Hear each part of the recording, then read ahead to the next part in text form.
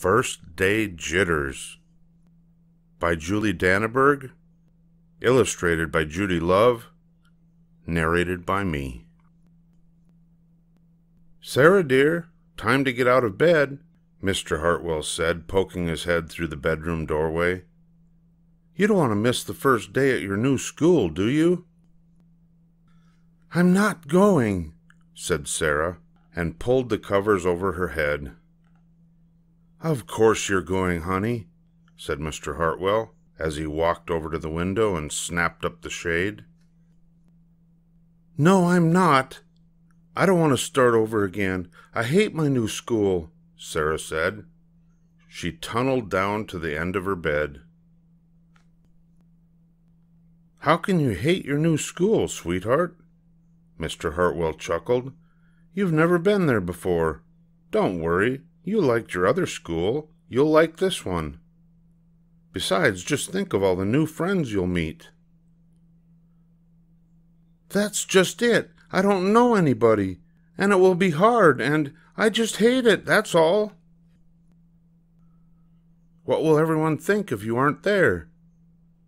We told them you were coming. They will think I am lucky, and they wish that they were at home in bed like me. Mr. Hartwell sighed. Sarah Jane Hartwell, I'm not playing this silly game one second longer. I'll see you downstairs in five minutes. Sarah tumbled out of bed. She stumbled into the bathroom. She fumbled into her clothes. My head hurts, she moaned as she trudged into the kitchen. Mr. Hartwell handed Sarah a piece of toast and her lunchbox. They walked to the car. Sarah's hands were cold and clammy. They drove down the street. She couldn't breathe. And then they were there. I feel sick, said Sarah weakly.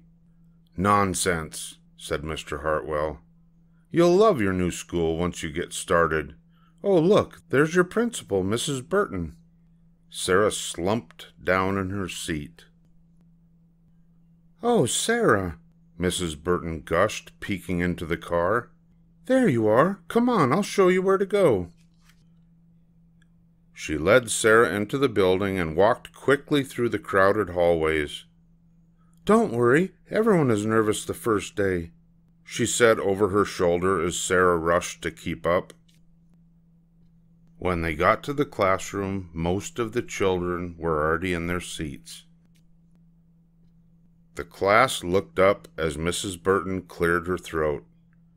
Class, class, attention, please, said Mrs. Burton.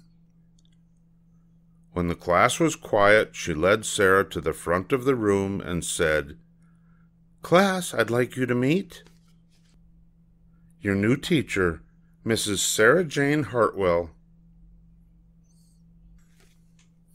The End.